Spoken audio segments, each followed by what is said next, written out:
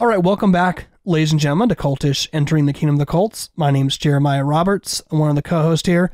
We are joined here by Jac Marino Chen. It's good to have you back. Thank you. It's good to be here. Uh, Andrew, I'm going to let you ask the first question. You probably you were listening a lot, sleuthing around the background.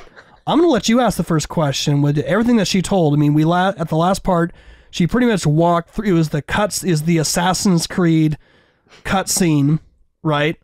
Minus whatever those little things are attached to the uh, forearm. I've never seen it. No, so- you know, you know what I'm talking. about if you're a gamer, uh, but Yeah. anyways, Andrew, what are you? What's on your mind with everything with uh, Jac's uh, testimony? Where she's at right now in her in her story?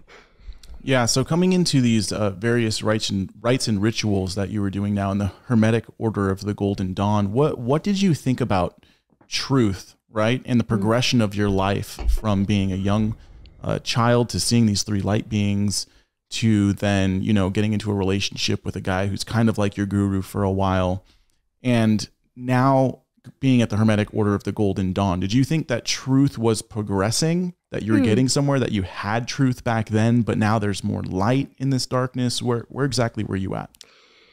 That's a good question. I definitely thought that truth was evolving. I thought that I had my whole life been ignorant and not awakened to that yet, that I was being held back by dogma, dogma, dogma, dogma. I heard that so much, heard that recently. Um, I know that that's, it's just widely taught in the occult, but believing that that was holding me back, my whatever I thought faith was, whatever whoever I thought Jesus was, was this watered down version meant to control me. And what I was learning now was the truth. And it's interesting how there's no dogma yet. There is this truth, and we're going to teach it to you, and you have to do these rites and rituals. So it amazes me how, looking back, now being truly saved, having God's word, it's the firm foundation I can stand on. But back then, these things kind of attack each other. But I didn't see that at the time. I just thought once I learn more, it'll all come together. Mm-hmm. Yeah, and then looking back as well, real quick, um, you know, with re- having retrospection in a sense, um, why is it not surprising to you that this uh, Scottish Rite of Freemasonry uh, lodge referred you to the East Order of the Eastern Star, which then refers you to uh, the Hermetic Order of the Golden Dawn, or someone in your relationships uh, in your families did? Uh, why, why is that no surprise? Is there a similarity between the three?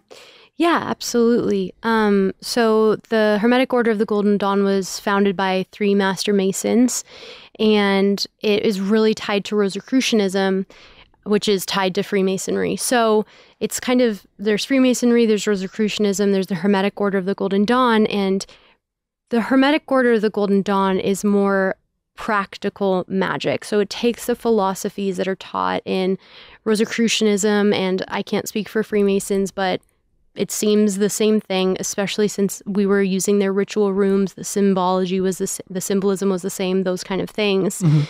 But it they all tie together, and um, they all have this secret knowledge. And so, yeah, it looking back, it amazes me. It it amazes me, but I'm not surprised that they all were coming together. At that time, I didn't understand the connection. It was kind of just one thing after another leading to another. But now for, uh, the Hermetic Order of the Golden Dawn being the practical application of the philosophies taught in these more philosophical order orders.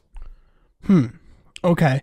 Yeah, I mean, it's definitely a complex world. In fact, I, I just talked with someone, I think next year we're going to actually have someone who's a former like Rosicrucian. And it's just so interesting because it's almost, it's almost kind of like you have this like multiverse of p- different practices of different people, um, you know, across, I don't know, maybe I'm thinking my brain's like going into Marvel mode or whatever, but you, you do see it. But at the end of the day, like all of them, it, it all comes down to one similarity. It's all secret, private, hidden, esoteric knowledge, understanding by way, and it's always a little bit different. Like I said, there's some differences between Andrew you mentioned Gnosticism, Hermeticism, but at the end of the day, it's a distinction between the material, the immaterial. It's a distortion of the incarnation of Jesus Christ, who's fully God and fully man. Right. But again, you have Christ in whom all the treasures of wisdom and knowledge are hidden versus all this hidden stuff. Mm-hmm. So speaking of hidden stuff, you are uh, in a sort of like this hidden place. This is these. This takes place not out in the open. Like this takes place in these areas, and it was so it was a lodge that was facilitating where you do these rites and practices. Yes, I I didn't know how they were booking it or anything like Yeah. that, but every time we met, which was once a month, or the conclave that I went to, which was from 10 a.m. to 6 p.m., three days, you're there all day, and we had the whole lodge, and the rituals are always practiced in the Freemason ritual room. Hey, what's up, everyone? We love that you are enjoying our content on a weekly basis, but this program cannot continue and wouldn't be possible without your support. So if you want to go to thecultishshow.com, there is a donate tab. You can either support us one time or you can become a monthly partner with us. That will allow us to continue this program, allow us to continue to be salt and light to the kingdom of the cults. So please go to thecultishshow.com forward slash donate and you can support us one time or monthly. Also, make sure you check out our merchandise store. Go to shopcultish.com. You can see all of our great designs. A lot of you have, have gotten merchandise from us already. So, again, you either go to shopcultish.com and check out all the awesome merch. Back to the show. And then just, uh, wow, Andrew, what do, you, do you have a question or What? what's on your mind? You're just, So you're doing like some occultic practices for eight hours a day for three days of the week. Um, what types? I'm not asking for what the rituals uh, entailed or anything like that, but was there ever contact with uh, demonic entities during these rituals? Yes. Um, but again, I wouldn't have thought they were demonic at that time. And so it's a little bit blurry on when exactly I started to be afraid enough to realize I need Christ. I need I need someone because this isn't this is scary.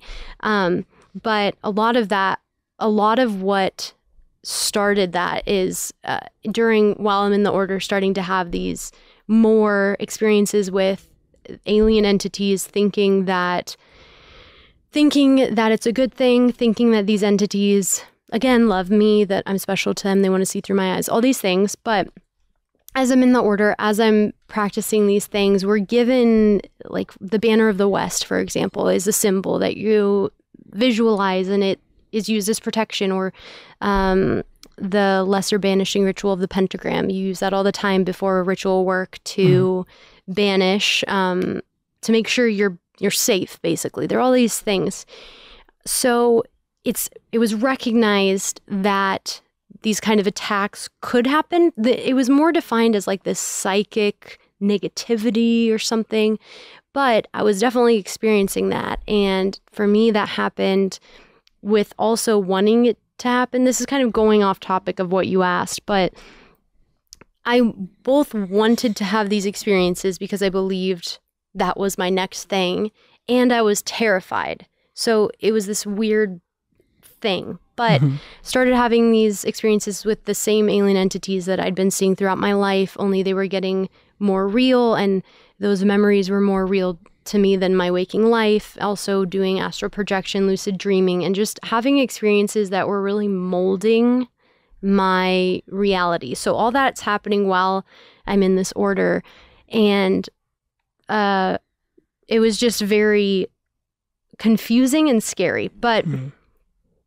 um, is that, do you think that's helpful for me to talk about, going to detail on, or? Yeah, I think well, I think it is in the sense because again, we want to let people know that you know a lot of times you might have friends that are talking about this experience that's like real and tangible, and it's very easy, especially just because a lot of times we view stuff that's going on in the supernatural through the lens of somebody on TBN or somebody blowing the wind of God, if you know what I Mhm. mean, like somebody, some charlatan on television, or just a sensationalism of the supernatural.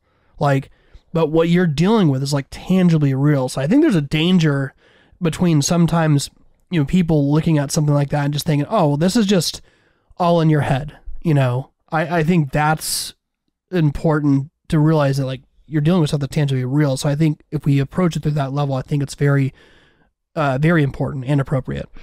Okay, and I do think that just again to preface, it it wasn't just one day I had this experience and that's why it wasn't weird. It was since a child, I believe, that these entities Yeah.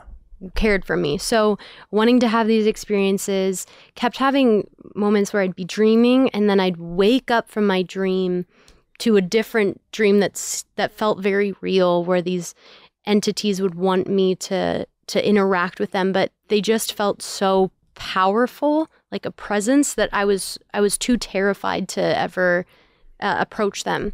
And that happened many times me just really wanting to to I don't know, get to know them or do whatever they wanted me to do. But ultimately, I was very afraid of them. Now I don't believe they were aliens. I believe they were demons, fallen angels, masquerading as really masquerading as angels of light because I thought that they were good.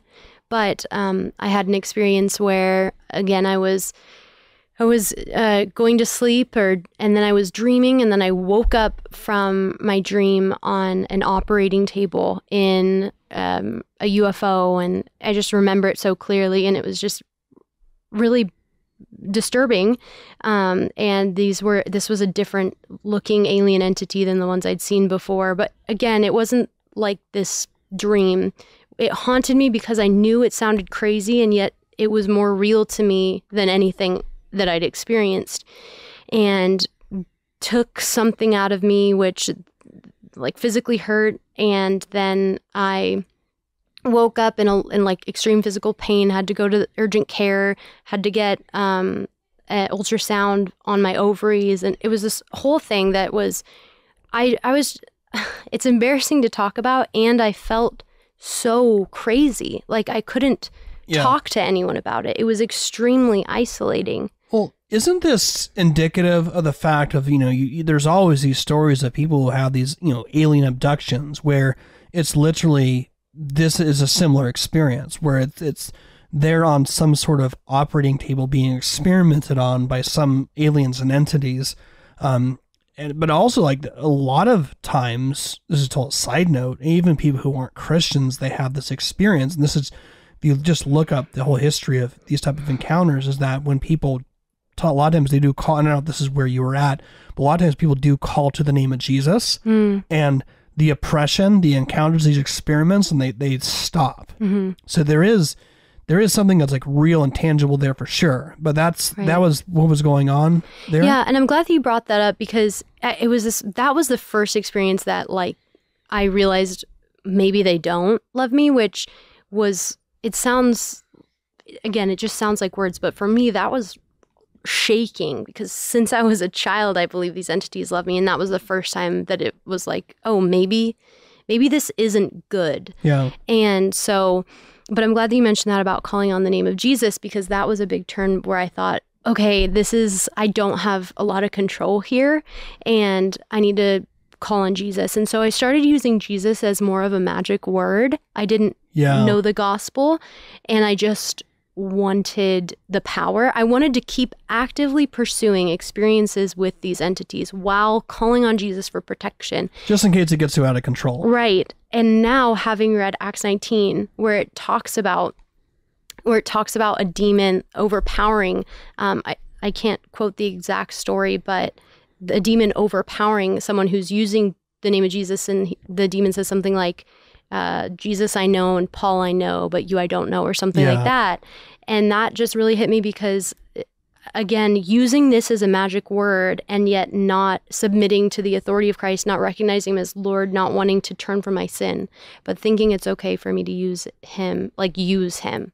Um, and that was something that happened a lot in the order using Jesus, using yeah. the names of God. And uh, just to clarify, and Andrew, I'll let you jump in here. How old were you when this these encounters happened? Where it was these uh, abductions? If you, a, this abduction happened, uh, in, how like early twenties, early twenties. So you're looking at probably like a decade and a half from the very first time you saw lights in the sky as a child. Mm-hmm. I mean, it's I just thought it's such an interesting timeline between that time there, which seems like very nice and innocent, and that's like the thing that's always creepy. The thing about movies is like whenever there's anything that where it's like it makes a child evil or a, child's being messed with, it bothers all of us intangibly because we know there's like that innocence, that mm-hmm. suffering out the children, suffering out the little children aesthetic.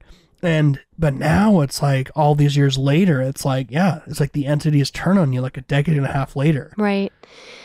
Yeah, Yeah. and but I wasn't even I con- I twisted in my mind that maybe it was a good thing. that I should Yeah. want to be used by them. If they want to use me, like that's okay. And so kept having experiences, but the worst one was when I I again woke up from a dream and I was in my apartment and it was the same. They always look like tall gray aliens, but wanted me to look this entity in the eye. That entity wanted me to look it in the eye, and I was afraid. And when I finally did, I felt like my soul was going to come out of my body, and it was just like the. I woke up and said it was like a very like the darkest mirror. Like it was just pure darkness and and all the darkness in me, and it was, and I think that was a big turning point where I I knew that they were demons but at that point, being in the order being so twisted, I thought maybe Lucifer is the good guy. So at that point, even though things are being revealed to me, I was so deep in thinking that maybe maybe the story is is is inverted. Maybe the the dark what we perceive as darkness is actually good. Maybe Mhm. Lucifer's the good guy. Again, it just amazes me that if I had known who Christ is, that he truly came and died in our place, that he bore our sins on the cross, bore the wrath of God, and died on the cross, raised on the third day, and is now seated at the right hand of God as the one mediator between God and man, that I could have had my sins forgiven. I could have been made a new creation. I could have had peace. He says, Come to me, all you who are weary and heavy laden, and I'll give you rest. That was me. That was Yeah. me from day one. I could have gone to the true good shepherd who is fully worthy of my whole life. But instead, I didn't know the truth and I loved my sin. And so I continued in rebellion Hmm. throughout my life. And and even at that point where I was faced with, okay, this isn't working, I still loved my sin. I I loved Mhm. it and I didn't want to turn. So trying to justify in any way, maybe this is the good thing. Wow. Andrew, Wow. what, what's on your mind? What are you thinking, man? Yeah. So looking back uh, at your life now, um, thinking about the various rites and rituals that are performed in the Hermetic Order of the Golden Dawn, uh, does it? It seems to be that those give the illusion of control over some form of spiritual realm or entities in which you can get information from to help uh, bolster your spiritual awareness in a weird sense. But is that the truth right? Like it seems like you're bringing to the, to light and you're showing us that all of those rites and rituals those are illusions of control and you're actually being manipulated by evil forces that are literally can care less about a ritual. Like a ritual has no power in and of itself. Um, but you're just allowing these things into your life and giving them the ability to manipulate and control you. Is that kind of how it is Absolutely. And I think it was hard for me to to really accept that. As even coming out of that relationship, I refused to believe that I was manipulated or anything like that. So it just felt like this too. It was really hard for me to see this as bad, but I also wanted to find a back door to God. That was the way that I worded it a lot of the time. I wanted my own way to God where I didn't have to turn from sin, where I didn't have to submit to this God, where I could write the the rules in that sense. So just trying to come at it, trying these rituals were alluring because I did I could I could have God my own way. I could have Jesus my own way. And the Jesus of the Golden Dawn does not require you to turn from sin, does not Mhm. require you to submit to him as Lord, but instead you become Christ. Christ is a type that you are to become. You are ultimately your own savior. I mean verbatim in the yeah. in the in the literature that I was given from them. Wow.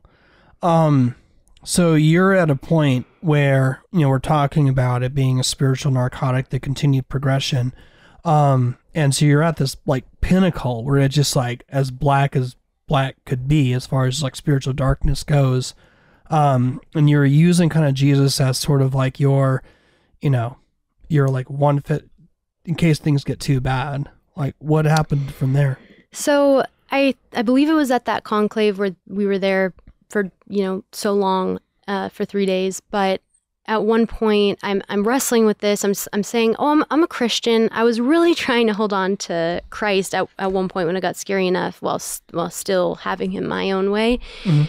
And so I'm there and practicing rituals. We did a lot of invocation rituals and like in, invoking these entities and um, a, a lot of uh, rituals. And and I think it's important to say for because it's so easy to demonize people in these things as Yeah. oh they're they're drinking blood and they're wishing harm on on everyone. I wouldn't be surprised if there are people doing that, but that's most people that I've met, most people that I've gone and talked to that are still in this kind of thing, they think what they're doing is good and they're they think they're helping themselves and helping people and that's what I thought. But when it gets perverted enough that you believe Lucifer is good, then it gets really iffy. But practicing these rituals in the lodge, and uh, some of them were Isis invocation, the, the goddess Isis, and uh, prophecy over us. Uh, the Thoth invocation was really feeding my ego as I was moving up um, to another grade and oh you, you moved up so fast and thoth really you really have a connection with thoth during the invocation and to me like i felt like i'm good at this. This is what i'm good at. And and even though i was the lord was starting to really open my eyes to the darkness of this i didn't know who i was apart from that. I didn't know how to separate. If i were to really turn from sorcery magic astrology alchemy all these things like i didn't think that there would be me Mhm. and so i thought i was too far gone Yeah. and in the Golden Dawn, they practiced Kabbalah. And in a lot of the rituals, they quote scripture completely out of context. Things like uh, the verse about, like, uh, let me look it up, but something about cl- wash me with hyssop. Uh, That would be a Psalm 51. thank you. But but that Yeah. quoting that and out of context, a lot of stuff in Latin. So it, it's like, oh, the Bible's in this, but it's not. Almost like pre Reformation. You know, you think about that, like prior to Luther translating the Bible into German, like they had always kind of used only the priest could access in Latin. So it's almost like Right. you're sort of vicariously experiencing that. Absolutely. And and something else that stood out to me was even in some of the grades, the the materials are are ciphered. So you have to know the secret language to even read the material, which makes it sound so much more exciting. And the cipher manuscripts, which are what the Golden Dawn came from, mm-hmm. it's it's in a, a script that had to be ciphered and and so it's all this adding it's almost like this secret language so you couldn't just read my materials because it wouldn't make sense to you but that's done on purpose because it's the allure of this secret knowledge. You have to learn more to understand and you're not you're not special enough or that whole idea that Yeah. the higher knowledge. Um so doing these rituals the lord was so kind. At one point we would take the eucharist but to osiris. Um, just blasphemy blasphemy blasphemy.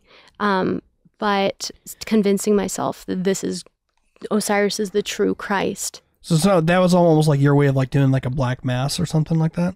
Similar i don't know what a black mass is Well, that's like the. It's basically, uh, I believe, I think it's the Church of Satan where they just. It's like it's similar. It's like a communion, but it's like an unholy communion, Hmm. basically.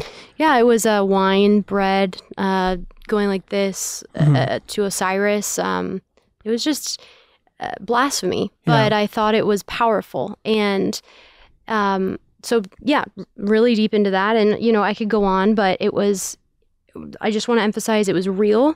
So Mhm. when I see this again in kids' shows, things like that, Yeah. sorcery, like I see that and I say, that's real stuff that really happens in real secret places that is sending real people to hell Yeah. and deceiving them. And so it breaks my heart to see it joked about like as though it's a fun thing because it's real.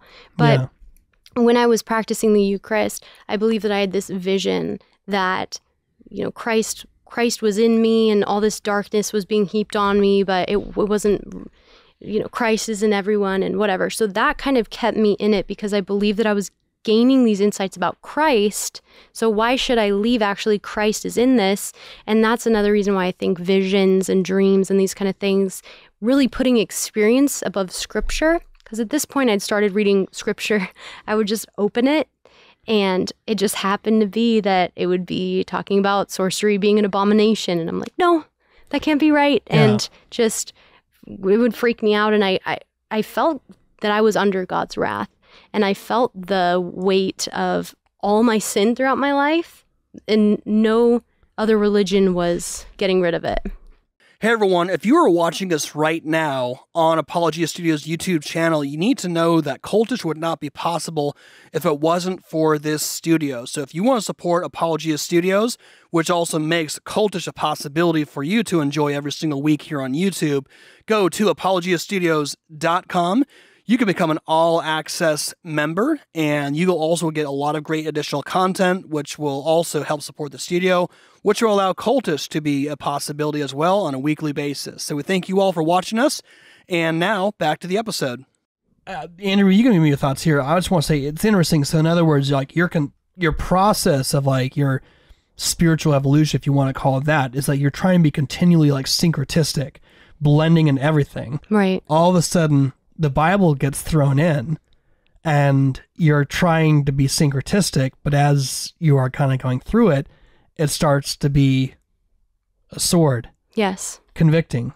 Yes. Showing the thoughts and the intentions of the heart. Absolutely. And that's not what you were going for. no. Uh, and so I would just kind of hide it. I started sleeping with the Bible under my bed because I was scared, but um, every time I read it, I would be convicted of sin and felt that way. But, you know, same within the culture today shame is bad. You just have to think positive. It's not real. Sin is meant to oppress you. All these ideas that if I just think positively, then the shame will go away. Yeah. If I just think this way, then this weight will go away. But it didn't.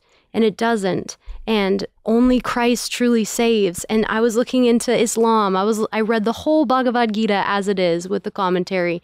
Didn't didn't save me, didn't relieve me of my sin. Searching anywhere yeah. for some kind of relief didn't want to go. I felt like it would be like go, slinking back to Christ, but God, in His kindness, used me reading those scriptures. First, I read um, the one that stuck stuck out to me that you can tell a tree by its fruit. Mm-hmm. Didn't really know what that meant, but I knew that the fruit of the of the tree of the Hermetic Order of the Golden Dawn was bad fruit. I knew that the highest up were just as depraved as me. I could tell that I loved them in a in a worldly way. I don't think I was capable of biblical love, but they were they were broken and they were had addictions and they weren't free. They weren't mm-hmm. saved. And that really was like as uh, Alisa Childers says, a pebble in my shoe. Like it bothered me. Yeah. And then I read that Satan masquerades himself as an angel of light. And that one hit me because I was really truly believing Satan, Lucifer, was the light bearer. Maybe him giving us the fruit was actually a good thing. Maybe he wanted us to have intelligence and knowledge and, and really perverting the truth, flipping the script. Mm. And I realized, okay, that's what he's doing. But I was still too prideful to turn. And then I read that I really I just remembered Genesis 3, the the first lie that we have in the garden where Satan says if you or the serpent says if you eat from the tree of the knowledge of good and evil, you'll become like God, knowing good and evil. And that was a whole thing that I was in is you need to gain the knowledge of good and evil to become like God. And I knew in that moment without a shadow of a doubt that Satan is behind what I'm in and you'd think that yeah. I would say, okay, that's that makes sense. I'm going to get out. But I didn't. I thought I'm too far gone. My addictions are too strong. I don't know who I'd be. And so I kept going in it. And but God, mm-hmm. one night I was walking across my apartment. I had my tarot cards out. It was just any other night.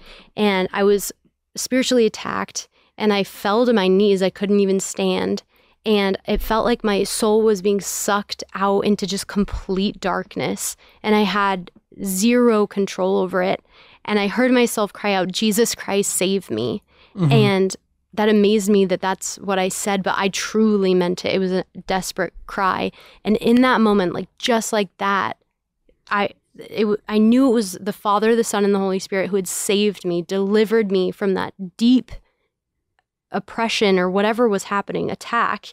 And I knew that I had the peace that I'd been looking for my whole life. Because ultimately, that's what I was looking for peace and all these things. Mm-hmm. But nothing ever satisfied. But I had true peace. And I also knew for a fact that all the things that I'd been practicing and convincing myself were actually not that bad were sin against this holy God and that all in that dark checkerboard floored room, all that power was nothing, literally nothing compared to the power of God. It was nothing for him to save me. And I was shaking like crazy because it was a lot. And so I grabbed my Bible from under my bed and started reading it.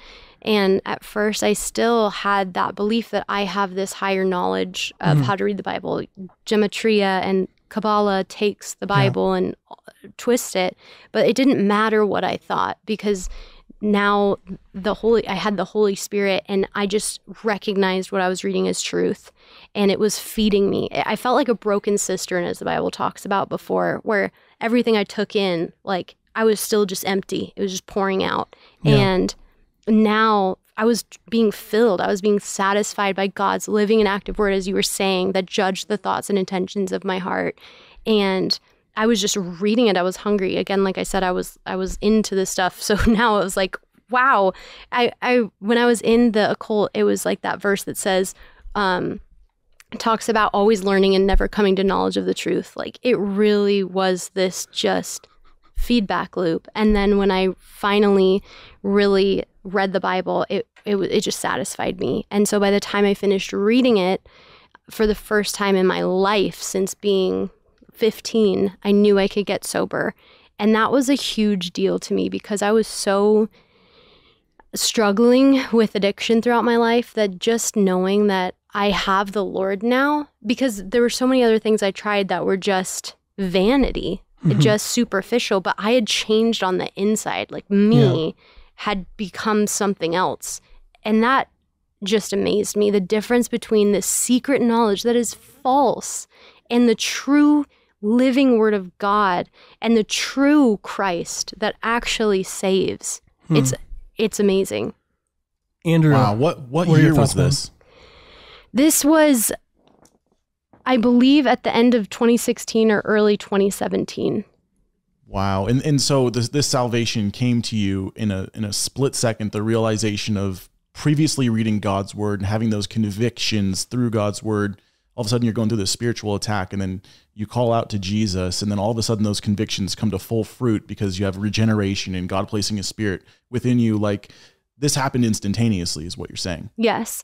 And it's cool how before that, God had been planting seeds. Like I was driving from San Diego to LA and something came on the radio. I didn't realize it was a pastor, else I would have probably turned it off. But I was like, what is this? This is what I've been, this is the truth. And then I found out it was a pastor and was so confused. But Yeah. the Lord had been planting these seeds. But in that moment, I didn't do any work. There's nothing, I didn't clean myself up. I didn't do anything. The Lord saved me in that moment when I called on the name of Christ, truly. hmm What happened after that? I mean, I know a lot of times you'll hear stories of people who get saved out of the New Age, and it's like, because it's funny too, because a lot of times people who are in the New Age, they talk about Christianity as somehow some sort of conspiratorial um, order to try and control people to not get into this esoteric things. But in reality, a lot of times when New Agers get saved, there's this immediate conviction like, I have to get rid of all of my stuff. Mm. Like I have to burn it, destroy it. I can't like I, I can't sell. I can't do nothing. I have to get rid of it. Was that something like that for you, or how did those convictions? What was it like? Because you were eh, saved in the middle of all that. Then it's kind of like, what do I do here? Like, Mm. what was that process like for you? Well, I'd say even to what you're saying, how that's so true that it convinces you Christianity is just trying to control you. That it's the opposite. The occult and the New Age and these lies that you can gain. Ultimately, it's just works based salvation. Yeah. It all that's everything except for Christianity is, and it is bondage. And in Christ is true freedom, and that's amazing. But yeah, for me, and I'm, and it's so true that for some people, just like that, and never drink again or never smoke again, or uh, the Lord can totally do that. But for me, that happened and the lord began to truly sanctify me and so it was me being in the word i was still going to the freemason lodge practicing magic but now i, I was so convicted Yeah. and it bothered me. And i would read more of god's word. I started in genesis went all the way through. So it took me time. I i remember i was trying to practice astrology and i kept being convicted and i it, I just this morning was looking through my old emails from the order and had emailed them saying, "Can a mentor talk to me? I'm I'm struggling. I think that my Christian dogma is holding me back." This was right before I got saved, but the Lord was already doing this work in my heart and the encouragement that no, you need to get out of that dogma. You're being like all these things were so ingrained in me thinking that I had this higher knowledge of the true Christ and that's that really confused me. But it didn't matter again because mm-hmm. the Lord was doing a work in me. And so, but it was truly by the time, or at least right when I almost finished the Bible, that I finally knew I could get sober. And then I started going to a church near me in Hollywood that was really uh, wonderful. And um, the pastor slowly went through the word with me, the things that I just thought I knew better. He was patient, him and his mm-hmm. wife. And I got to the point when I really realized I can't I can't be in this order. I just really tried to convince myself, but the Lord did that work in me that I knew I really I can't practice these things. I tried to do astrology every day, mm-hmm. and I was just so convicted that I stopped before the month mark. I was trying to just get through a month to prove yeah. to myself it wasn't bad, and so I reached out to them, um, saying, "I can't. I, I'm I'm leaving," but they say you can't leave you can only, I think it's called stepping away or something. But I was like, okay, well, I'm leaving. And so I just never went back. And they've reached out a, a few times, nothing violent or anything like that, but just to finish the great work and, and all that. But yeah. So yeah, uh, and then I got baptized, and ever since, just and there were times when I I thought, oh, I'm gonna keep my book of shadows, my ritual work journal, yeah. you know, for one day to to share what God's done in my life. But I was just convicted. I have such a bent towards that. If I'm honest, that that was my my most beloved sin, and so it's unwise for me. Even in preparing for this, mm-hmm. I was convicted. Looking back at my old material, I don't really need to do that as much as I think I do because because there can come a point for me that it's even learning about it isn't healthy for me. Right. So coming to that conviction, but it just amazed me how the Lord was doing a work in me to convict me, to sanctify me, and yeah, it, it was all Him. And I think that really stood yeah. out to me how I didn't do, I used to do hours of rituals a day and all these things got me nowhere, but just submitting myself to Christ, believing in Him truly, and, and being in His Word because I want to hear from Him, praying to Him and speaking to Him. He speaks to me through His Word. Mm-hmm. Like He did all the work. And yeah. there's such a rest in that. Mm. Andrew, what are your thoughts? It's, it's absolutely amazing. I just praise God for it. Like, first and foremost, all glory be to God for Amen. saving your soul. And it's, and it's not surprising to me, you know, in terms of you, you, you keep bringing uh, 2 Corinthians 11 into the equation where it says uh, Satan and his minions masquerade as angels of light. But what's funny is before that, in the section of scripture, it says uh, Paul is warning people about people who come and preach a different Jesus, a different gospel, who also accept a different spirit.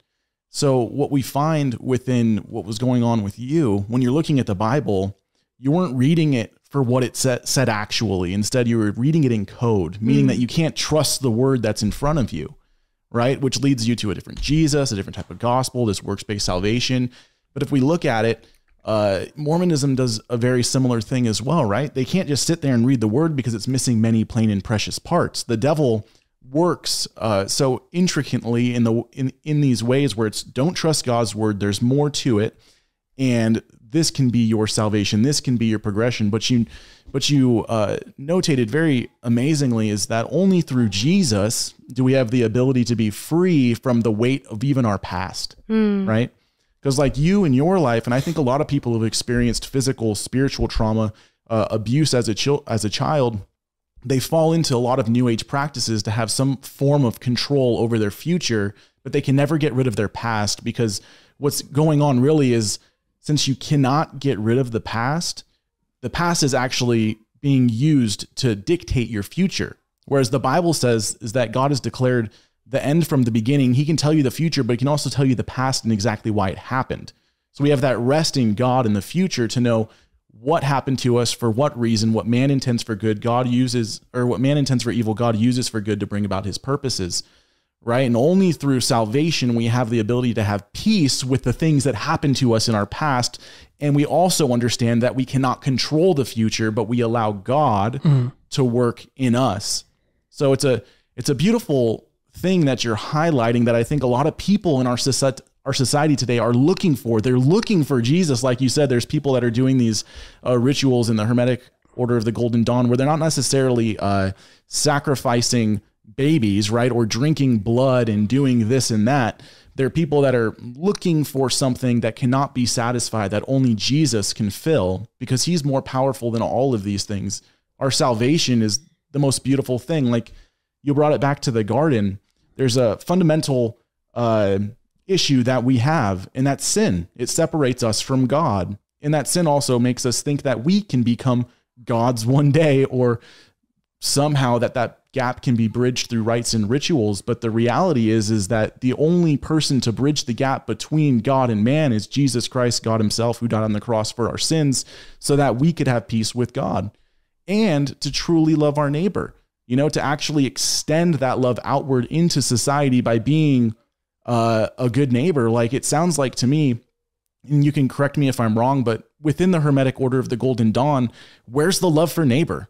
Right? Like you couldn't even uh, interact with outside society, right? The God of the universe so floods into us that then we project that love into the world by spreading the gospel. But it, it sounds like the God of the Hermetic Order of the Golden Dawn is so internal that you're just lost in confusion. Is that something that you that you'd see happening? Yeah, I think it comes down and praise God, everything you said, praise God that that's true. Um, yeah, I think it comes down to believing you have this higher knowledge. And even in society, when ultimately, no, it's not truly loving your neighbor. There is the idea of, oh, yeah, loving the neighbor in, in, like social justice, that kind of thing. And it was that similar kind of love your neighbor by doing these things, but is that really loving them? Um, there's no evangelism, it, it's universalism. So uh, you could you have to believe in a higher power. It can be any higher power. I believed i i drew something where it's like here's here's a picture of god and here's lines drawing to every other religion and it's all taking a bit of everything and i thought it was this profound thing. But again that doesn't save. It's an attack too on the sufficiency of scripture. And when i was really thinking about freemasonry the hermetic order of the golden dawn rosicrucianism ultimately it's an attack on the sufficiency of scripture and i praise god that his word is true not encoded not this mystical meaning you have to read between the words Yeah. that does not save it is not true but just reading God's word, I love when Jesus talks about coming to him as a child and that he's hidden these things from the wise and the understanding. Yeah. That's amazing. Our God is so good and so kind, and we can trust his word as it's written, and it is true. Um, and that's amazing. So, yes, praise God to everything you said, but no, in the order, there is no true love. There's no true love of neighbor. It's a perverted view of the same ideas. And that also stood out to me that there's so many of the same concepts. We used Adonai, um, Elohim, all these words in rituals. So, oh, it's Christian because it uses these words. Just because it uses the same words doesn't mean it's Christian. We have to define the words. Yeah. We have to see what what they mean. For sure, there's always a language barrier to scale. One thing I appreciated that you shared just a moment ago was the uh, really that book. You're like, I can't even delve into that in order to like to flush this out for this podcast because there's just levels of like the past you shouldn't like open up. Um, it's just something I think when it comes to apologetics, specifically like in relation to the occult, like even Walter Martin like warned about. He said too, like if you are going to do ministry to the occult, like prepare yourself because mm-hmm. it's it's a different ball game than even like dealing with the cults because you're dealing with something that primarily the, the first and foremost thing is spiritual warfare and so many times like in the new age and the occult you can tell me it's like there's a tendency to like to rely on the flesh and have this like apologetic answer to like rip them apart but it's like you have to be like reliant on the spirit and if anytime like you're relying on the flesh you know like that's probably not a good thing. You need to like really combat that in prayer. Um but yeah like i think that um you just have to be very very careful. Like i've had times just when i'm doing research and i'm just like watching somebody online who's like into this stuff. And i I can't listen to more than like five minutes. There's like something, there's like just a spirit about this person, you know, of what they're communicating or maybe even what they're in contact with. Like it's like I can't listen to that anymore. I think you do even in, within Christian apologetics, like you have to be very, very careful about that. Right. And I forgot to mention a big part of the Lord convicting me before that moment was my grandpa sat me down with my cousin and said, What's your relationship with God like? And I remember saying, Oh, it's better than ever. I've been reading all these religious texts. And he just said, Jesus is the way, the truth, and the life, and no one comes to the Father except through him. And I was so mad. I was shaking. I was never Yeah. going to talk to him again. I couldn't believe he would be so judgmental. But it didn't matter what I thought because the Lord used his word to penetrate my heart and convict me of sin. And as I was going to the the practice magic and my it was bothering me. So mm-hmm. When I when people ask me how do I witness to people in the occult, share the gospel.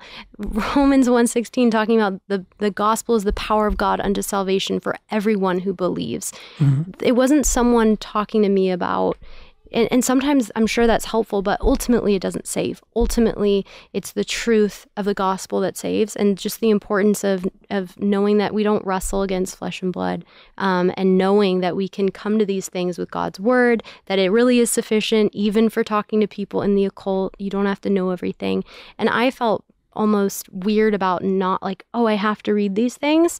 But even as a christian there can be that fascination for things in the occult and just being wise because you don't have to mm-hmm. know everything. And Yeah. then one last thing speaking you said we weren't drinking blood. I've said before when i was in that order if they had told me to drink blood it would have totally made sense with what i believed. And Yeah.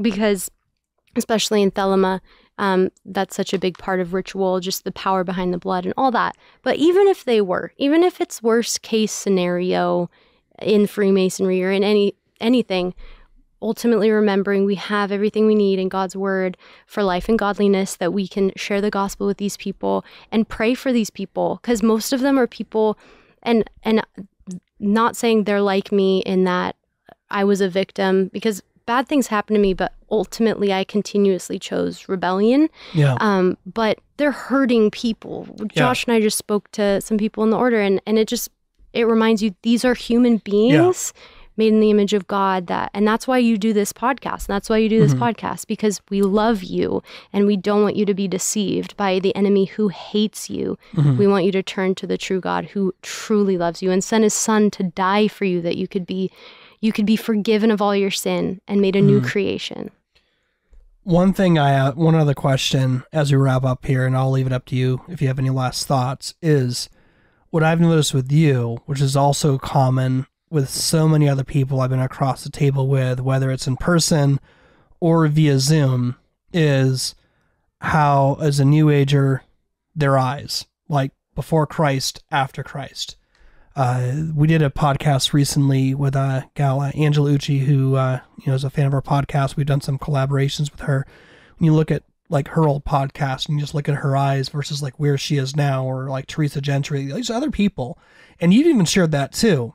Like that is just so indicative of like the eyes don't lie Right. um like of what of what happens of, of that old life versus actually what happens uh when someone like finds christ like i don't know what when you remember like you share i think you shared that uh post a while back kind of telling that story you know what i'm talking about right Mhm. yeah i mean maybe just as we wrap up you're like just I mean, share everyone like the heart behind like why you shared that i think there's a that's just really sums up our entire conversation Yeah, there, it's just it. I really am a new creation in Christ, and it amazes me to this day that people now. I live here. I'm next door to you, and Mhm. um, I at people at my church, Redeemer Bible Church, when they see me and they see those posts, they're like, "Wait."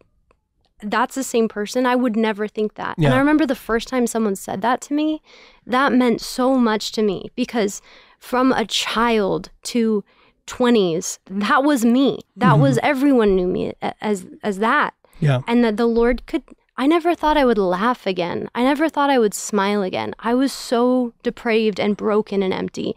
The first time I laughed until I cried like was amazing to me and the fact that people now know me as a joyful person. Mm. I didn't do work to get joyful. I'm not trying. The Lord is doing a work in me and he's going to bring it to completion.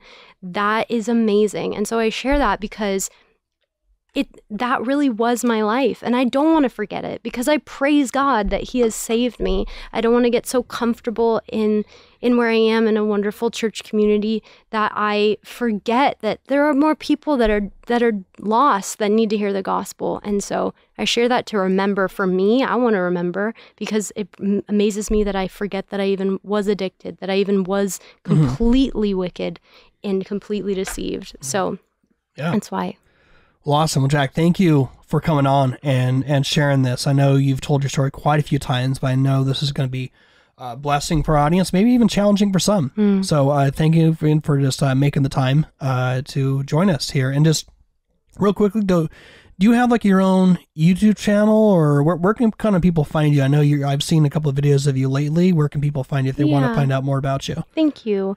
Um, you can find me at Jac Marino Chen. That's J A C mm-hmm. M A R I N O, yeah. Chen, at YouTube or um, just jacmarino.com. Okay. And I'm making videos on just yeah. sharing what I used to believe and comparing it to the truth. Yeah. And I'll, I'll share it too. Like you had a conversation with one of my former uh, people I used to go to church with, Chuck Holmes. Yeah. So shout out to Chuck Holmes. Yeah. Uh, really awesome. Who knows, maybe I'll get him on the podcast one day too. That'd be great. Awesome. Well, all right. Well, if you guys enjoyed this episode, let us know what you thought. Uh, leave a comment on our social media. And as always, a program like this cannot continue without your support. So if you feel led to support us, go to thecultishshow.com. You can go to the donate tab. You can donate one time or monthly. All that being said, we'll talk to you all next time on Cultish, where we enter into the kingdom of the cults. Talk to you guys soon.